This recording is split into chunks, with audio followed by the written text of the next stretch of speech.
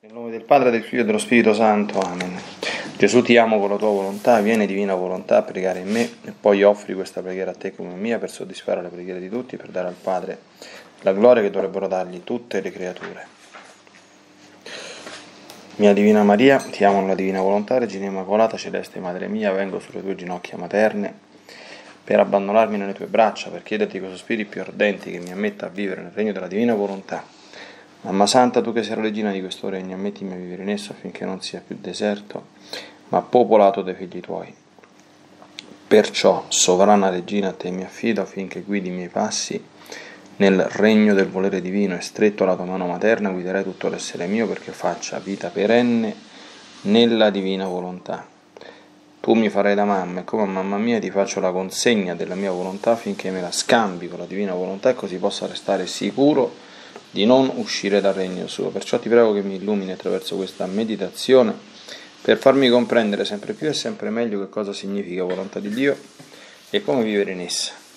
Ave Maria, piena di grazia il Signore è con te, tu sei benedetta fra le donne e benedetto è il frutto del tuo seno Gesù. Santa Maria, Madre di Dio, prega per noi peccatori adesso e nell'ora della nostra morte. Amen.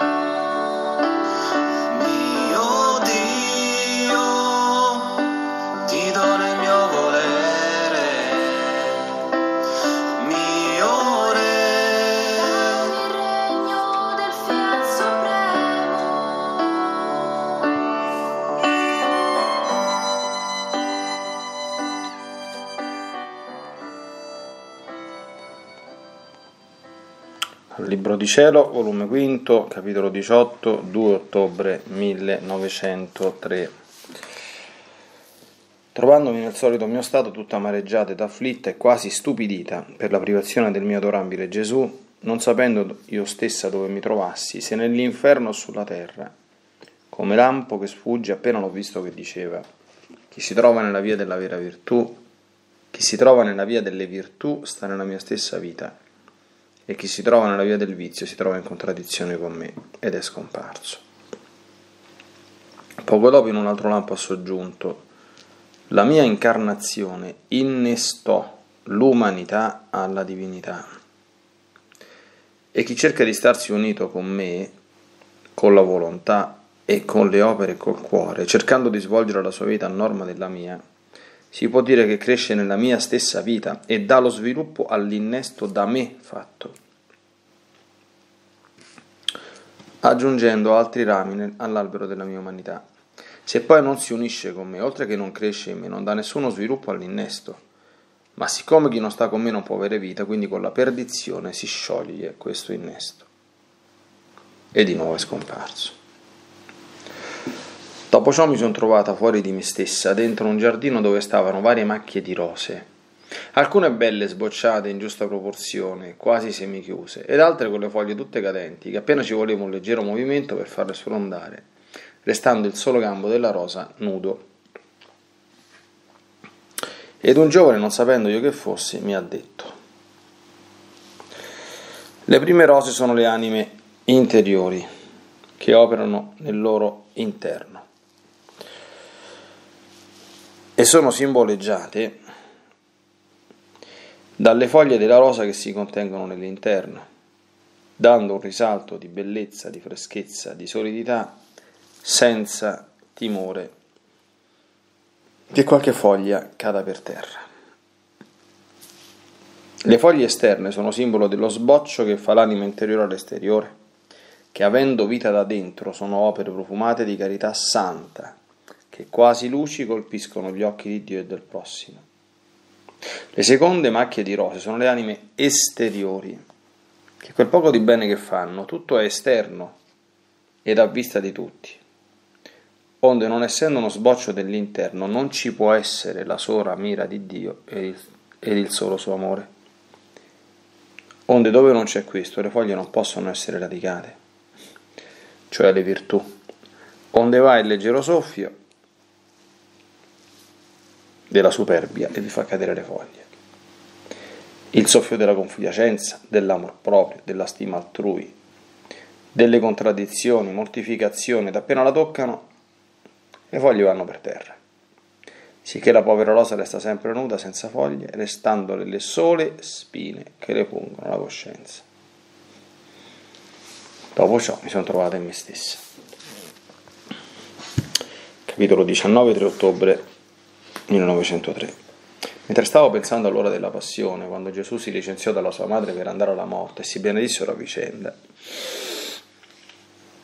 stavo offrendo quest'ora per riparare per quelli che non benedicono in ogni cosa il Signore, anzi lo offendono, e per impetrare tutte quelle benedizioni che ci sono necessarie per conservarsi in grazia di Dio e per riempire il vuoto della gloria di Dio come se tutte le creature lo benedicessero, Mentre ciò facevo, me lo sono sentito muovere nel mio interno e diceva, Figlio mio, nell'atto di benedire mia madre intesi pure di benedire ciascuna creatura in particolare ed in generale, di modo che sta tutto benedetto da me. I pensieri, le parole, i palpiti, i passi, i movimenti fatti per me, tutto, tutto sta valorato con la mia benedizione. Anzi, ti dico che ciò che fanno di bene le creature, tutto fu fatto dalla mia umanità, per fare che tutto l'operato delle creature fosse prima da me divinizzato. Oltre di ciò, la mia vita continua ancora vera e reale nel mondo, non solo nel Santissimo Sacramento, ma nelle anime che si trovano in grazia mia. Ed essendo molto ristretta la capacità delle creature, non potendo afferrare una sola tutto ciò che io feci, faccio in modo che in un'anima continui la mia riparazione, in un'altra la lode, in un'altra il ringraziamento, in qualche altra lo zelo per la salvezza delle anime, in un'altra le mie sofferenze, e così di tutto il resto. A seconda che mi corrispondono, così sviluppo la mia vita in loro. Quindi, devi pensare in quali strettezze e pene mi mettono, mentre io voglio operare in loro e quelli non mi danno retta. Detto ciò è scomparso ed io mi sono trovata in me stessa.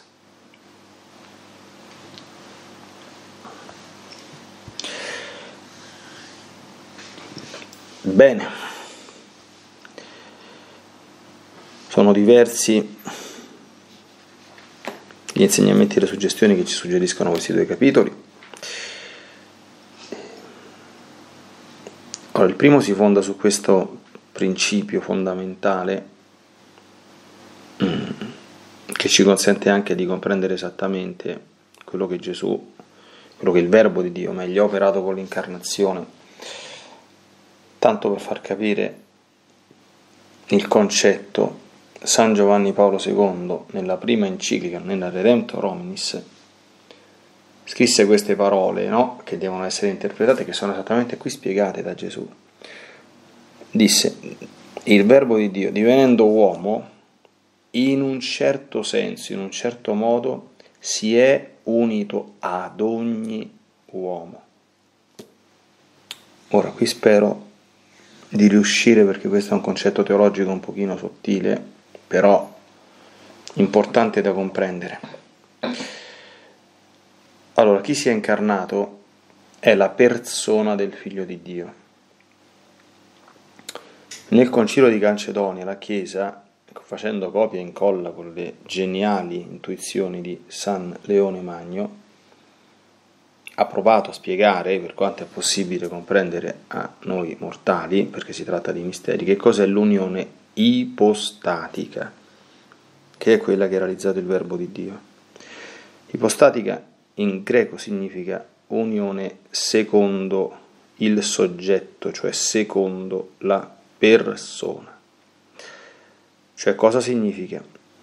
Significa che la persona del Verbo di Dio, quindi del Figlio di Dio, la seconda persona della Santissima Trinità, nel momento stesso in cui la Madonna ha detto fiat, si è appunto incarnata. Quindi cosa significa? Significa che immediatamente quella prima cellula umana, ecco, concepita per opera dello Spirito Santo nel grembo di Maria Santissima, in cui la Trinità infuse l'anima razionale, è stata immediatamente assunta, questo è il termine tecnico, nella seconda persona della Santissima Trinità, di modo che questa unione fosse indissolubile. Però, quando si parla dell'umanità santissima di Gesù, appunto si dice che è una vera natura umana come la nostra Però ecco il concetto sottile. L'umanità di Gesù non dà origine ad una persona umana. Una persona umana, secondo anche la nostra definizione, è un individuo specifico che fa parte della razza umana. Quindi è una specificazione particolare di un genere. Ecco, in Gesù non è così. È sbagliato dire la persona umana di Gesù, anzi è un'eresia, ed era l'eresia di Nestorio. Perché? Perché Gesù non è una persona umana, è il figlio di Dio che ha unito a sé una vera natura umana come la nostra, cioè un corpo animato da un'anima razionale. Che queste sono tutte quante questioni teologiche complicate, eh, niente affatto. Perché Gesù ha detto la mia incarnazione innestò, attenzione, l'umanità alla divinità. Dire che ha unito a sé una natura umana creata e non che il verbo sia unito ad una persona umana, come se adesso per assurdo, come se il verbo si fosse unito a me dopo che sono stato concepito, ecco, significa che nella natura umana di Gesù sono contenuti tutti gli esseri umani in cui la natura umana si specifica e si sostanzia, cioè tutte quante le persone umane, appunto come un innesto perché questo innesto abbia vita e sia fecondo ed efficace, come Gesù spiega, di cosa c'è bisogno? Eh, che l'anima riconosca questa realtà, riconosca Gesù come figlio di Dio, lo accolga, riceve i sacramenti e faccia la vita di grazia. Perché altrimenti questo innesto oggettivo che Gesù ha realizzato con l'incarnazione, come qui spiega, quando si perde, definitivamente, con la perdizione, si scioglie questo innesto. Ecco perché San Giovanni Paolo II diceva in un certo senso con l'incarnazione il verbo di Dio sia unito ad ogni uomo, perché da un punto di vista oggettivo tutta l'umanità, cioè tutte le persone della specie umana che furono, sono e saranno, sono contenute nell'umanità del verbo. Ecco perché poi Gesù spiega anche una cosa che e poi diventa, diventerà proprio eh, come dire, un leitmotiv della liberazione sulla sua divina volontà, quindi abbiamo un prodromo, tutto ciò che di bene fanno le creature, tutto fu fatto dalla mia umanità, per fare che tutto l'operato delle creature fosse prima da me divinizzato. E questo come è stato possibile? Per questo, per questo innesto oggettivo e ovviamente per la potenza della divina volontà in cui operava l'umanità santissima di Gesù e soprattutto per il fatto che questa unione dell'umanità di Gesù con la divina volontà fosse un'unione appunto realizzata per natura, perché il supposito su cui, in cui quella natura umana agiva, agiva era la seconda persona della Santissima Trinità.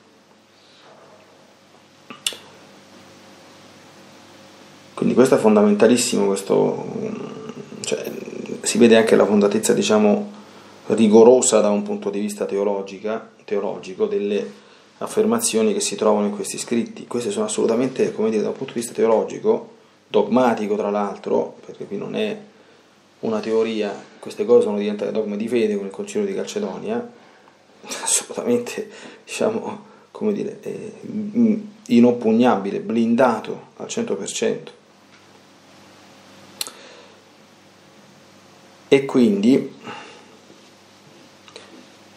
a partire da questo, Gesù spiega che semplicemente chi vive nella virtù cresce nella mia stessa vita e dà lo sviluppo all'innesto da me fatto aggiungendo altri rami all'albero della mia umanità.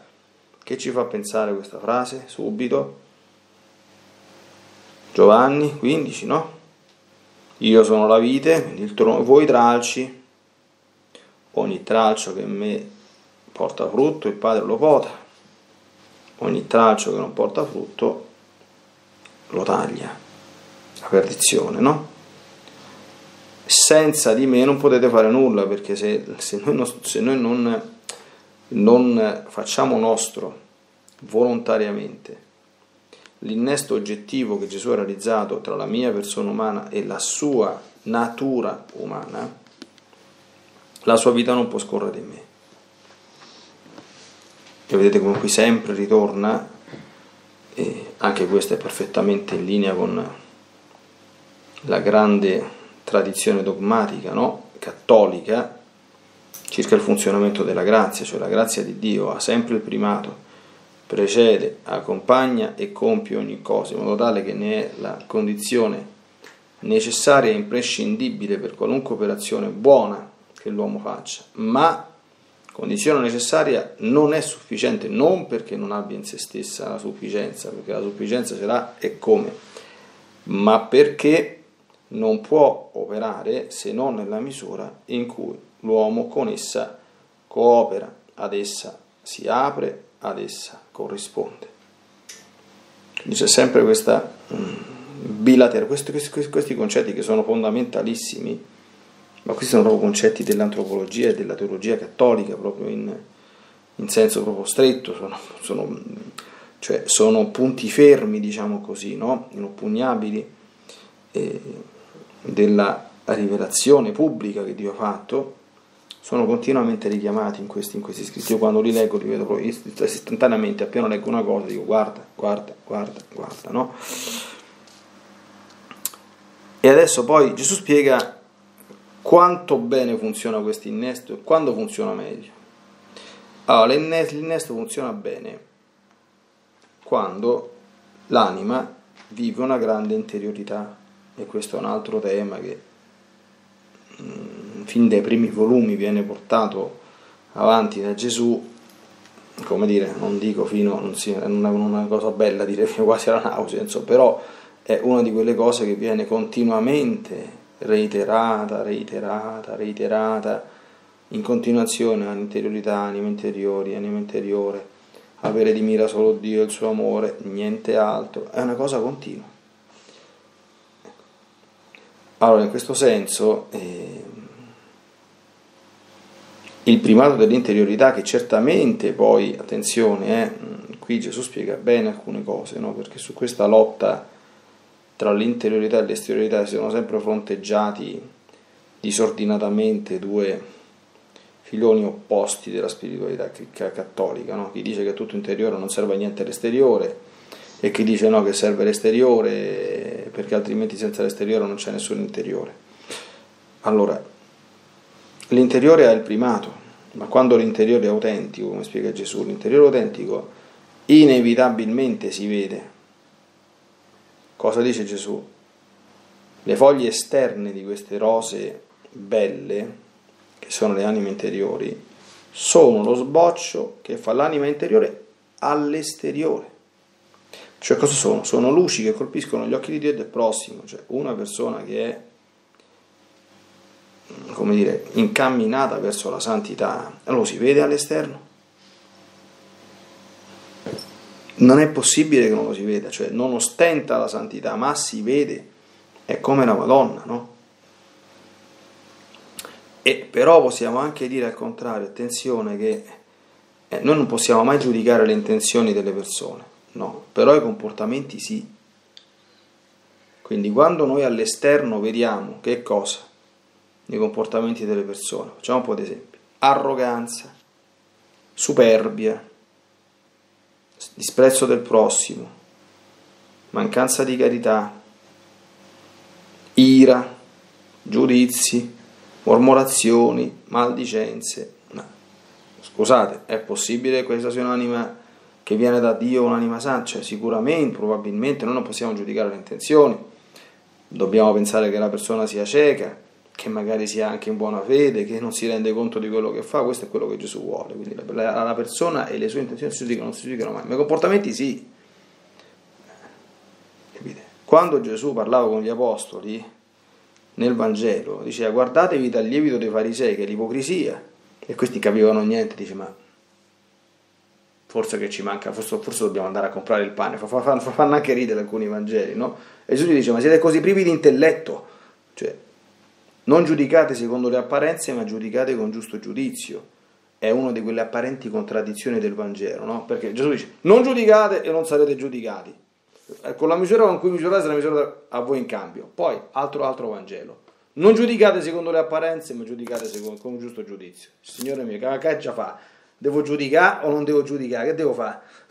allora, qui come sempre, ecco perché bisogna fare molta attenzione, Gesù non dice quelle cose nello stesso senso stamattina stiamo facendo una, una meditazione teologico-filosofica, perché come dice il principio di non contraddizione, due cose si contraddicono quando si dice una cosa e il contrario dell'altra cosa, attenzione, nello stesso senso e sotto lo stesso aspetto.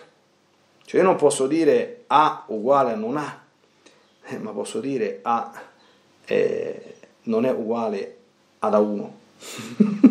C'è quel piccolo 1 sotto, d'accordo che fa, sembra che uno sta dicendo la stessa cosa. Allora, qui non dice la stessa cosa Gesù, perché quando dice di non giudicare, non giudicare le intenzioni delle persone, non dire quello è un perverso, quello è un candidato all'inferno, cose di questo genere, perché tu non sai dentro di sé cosa gli frulla per la testa. Cioè Gesù nel Vangelo dice verrà il giorno in cui alcuni vi ammazzeranno e vi ammazzeranno pensando di dare gloria a Dio, pensando in buona fede. Capito? Quindi come giudica quella cosa Dio questo noi non ci possiamo entrare perché noi non siamo buoni a giudicare nemmeno noi stessi, figuriamo siamo buoni a giudicare il prossimo, no?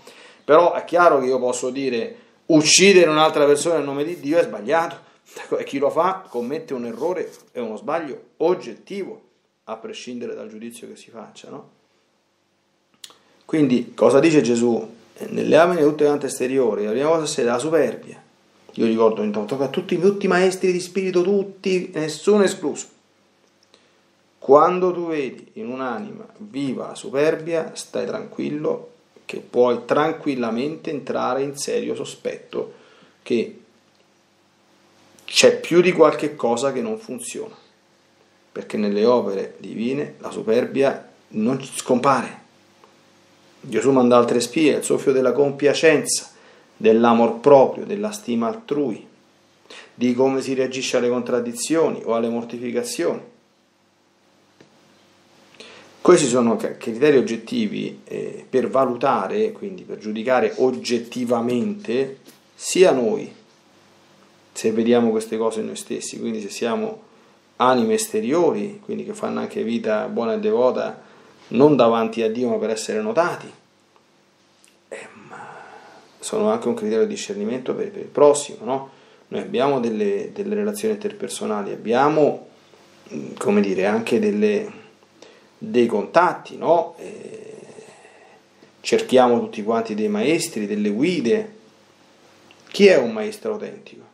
Chi è una guida di cui mi posso fidare? Attenzione a quando si vedono esterne esteriormente superbie, amori propri, ricerca della stima altrui, perché non sono frutti che sbocciano da un'anima che agisce solo per amore di Dio e per Lui, anche se pensa di farlo o se dice di farlo. Quindi su questo punto di vista, cioè, i cristiani sono anche un pochino eh, risoluti, eh? Cioè, tu dici che sei santo e che agisci bene, voglio la dimostrazione, voglio vedere le opere che compi, ma non per giudicare la tua persona, ma per vedere se in base a quello che compi io posso darti credito e fiducia oppure no. Perché esistono i profeti, ma esistono i falsi profeti, esistono i maestri, ma esistono i falsi maestri. Gesù ne parla nel, nel, nel Vangelo, no? E cosa dice? Dai frutti li potete conoscere. Non si raccoglie uva dalle spine né fichi dai rovi. E su questo bisogna fare attenzione, non, ripeto, per giudicare le intenzioni delle persone, ma per verificare i comportamenti. Perché chi è innestato alla vita di Gesù, cosa dice Gesù? Imparate da me che sono mite ed umile di cuore. Sono queste le due cose a cui dobbiamo fare attenzionissima e che si vedono all'esterno. La superbia si vede all'esterno. Quanto uno possa essere intelligente, ah, abile, a mascheranciola e niente, basta stuzzicare un pochino una persona, basta un attimo provocarlo un po', vedere come reagisce, no? E, contraddirlo. Non ci vuole niente, non ci vuole.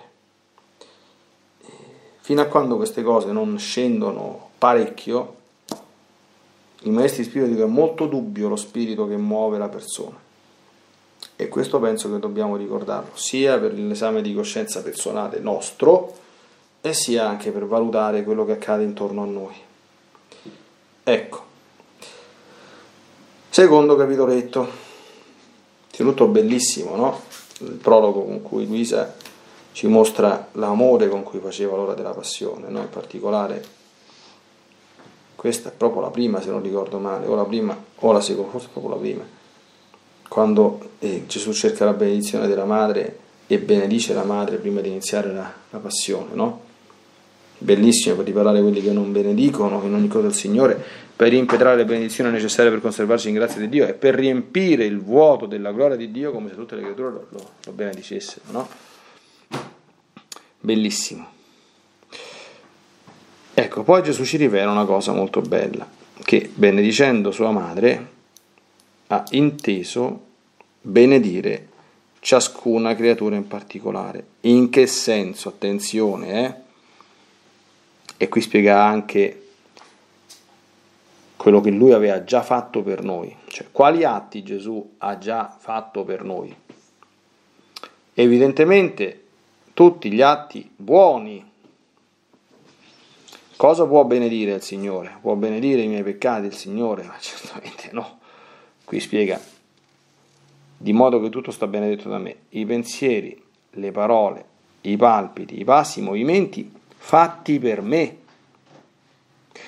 Non solo ho fatto questo, ma nella mia vita terrena, tutto quello che di bene fanno le creature, tutto fu fatto dalla mia umanità. Quindi non soltanto l'ho benedetto, ma l'ho già divinizzato e noi sappiamo che vivere nella divina volontà vuol dire proprio fare nostri gli atti che Gesù ha già fatto per noi e che trasformano i nostri domani in divino. Questa è una cosa molto semplice da fare perché basta sapere questa cosa e agire con l'intenzione di andare a fare nostri questi stessi atti. Questo significa vivere nella divina volontà e agire in modo divino, no? per quanto riguarda il compimento degli atti.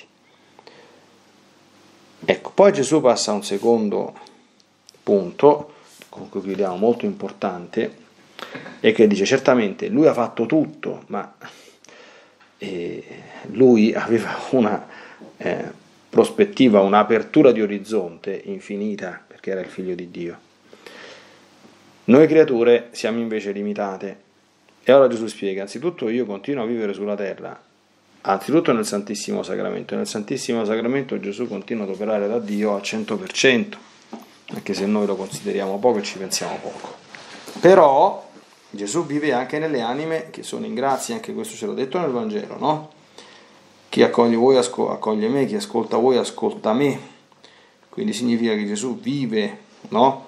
nei suoi fedeli. Cosa ha detto a San Paolo sulla via di Damasco? Non ha detto Paolo, Paolo, perché perseguiti i miei discepoli, ma ha detto Saulo, Saulo, perché mi perseguiti. Quindi significa che Gesù vive nei suoi. Ecco, però la vita di Gesù, e questo è anche bello pensarlo fa anche comprendere la bellezza della Chiesa e la sua pluriformità e anche la, la differenza, la distinzione che c'è tra una persona e un'altra, tra una vocazione e un'altra, dice la creatura non può afferrare tutto ciò che io feci, perché è limitata, è ristretta. Allora che succede? La vita di Gesù è stata variegatissima, Gesù ha fatto tantissime cose. Allora, per esempio, Gesù ha speso una vita per riparare in continuazione la gloria del Padre. Ci sono alcune anime che trascorrono una vita per riparare, in un'altra la lode, in un'altra il ringraziamento, in qualche altro lo zelo per la salute delle anime, in un'altra le mie sofferenze, le anime crocifisse, no? E a seconda ancora di come mi corrispondono, così sviluppo la mia vita in loro. Anche qui eh, i capolavori di santità sono le anime che hanno corrisposto bene a Gesù, no? E noi sappiamo che di questa corrispondenza Gesù parla nel Vangelo, anche di questo. È molto bello leggere gli scritti, oggi abbiamo fatto un po', è venuta insomma, no? leggere gli scritti di Luisa con un doppio sottofondo. Il primo che è più importante è la Sacra Scrittura, il secondo che è più importante è il Magistero dogmatico della Chiesa. Allora, cosa dice Gesù nella parabola del seminatore? Il seme caduto nella terra buona sono quelli che ascoltano la parola e producono frutto. Quanto ne producono? 30, 60 o 100. E da cosa dipende questa variabile? Dalla, dal tasso, diciamo così, di corrispondenza dell'anima al dono ricevuto dal Signore. Piena corrispondenza 100 per 1, buona corrispondenza 60 per 1, sufficiente, discreta corrispondenza 30 per 1. Ed ecco che torna ancora questo tema così importante della nostra cooperazione con la grazia che deve essere ogni giorno, chiediamolo, speriamolo e anche come dire, lavoriamo per questo, migliore rispetto al giorno prima perché la vita divina sarà tanto feconda in noi quanto maggiore campo di azione gli diamo, quanto minore resistenza le opponiamo. Ecco, con questo sereno e continuo lavoro su noi stessi, che richiede anche una grandissima umiltà, eh, profonda ecco, e, reale, e chiediamo sempre al Signore che ci dia la grazia di entrare bene dentro il nostro cuore di ascoltare profondamente sempre la nostra coscienza e soprattutto tante meditazioni abbiamo già fatto di toglierci tutte quante le stupidaggini ecco, che ci raccontiamo a livello cosciente ma che non sono la motivazione reale dei nostri comportamenti oppure che c'erano dei comportamenti oggettivamente insomma sbagliati sotto le parvenze le apparenze di virtù che però non sono reali ecco, ricordiamo sempre quella massima evangelica che abbiamo contemplato, che dai frutti sempre si riconosce l'albero. E questo tipo di operazione oggettiva dobbiamo farla anzitutto su noi, oltre che, come abbiamo visto, usarla anche come sereno e pacato, ma anche vero criterio di discernimento dell'operato altrui, specialmente di chi si presenta come testimone, come maestro o come persona che in qualche modo ci deve mettere in contatto con il Signore, ecco, ma deve dare le credenziali di una vita autenticamente unita a Lui.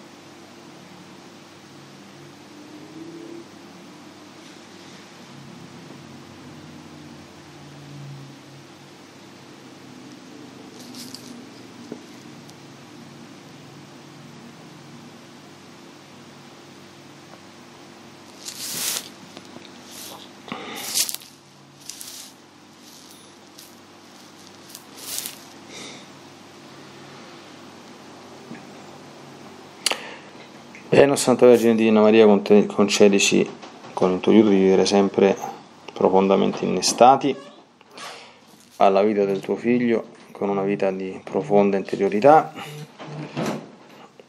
E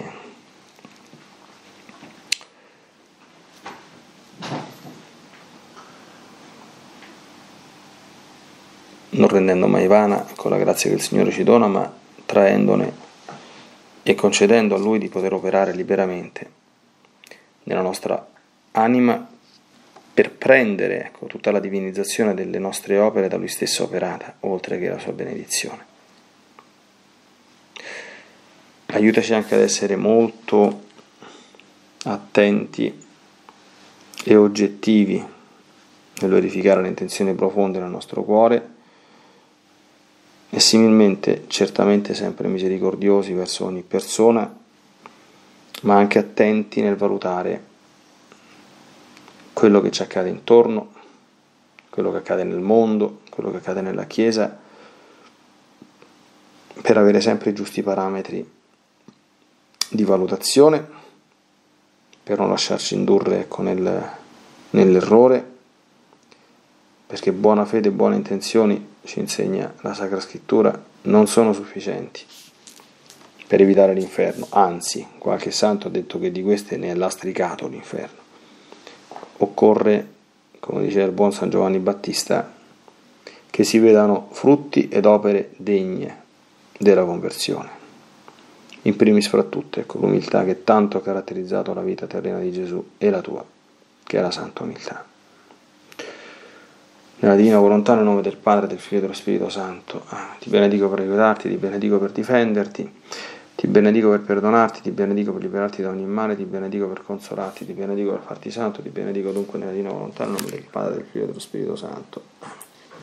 Fiat Ave Maria.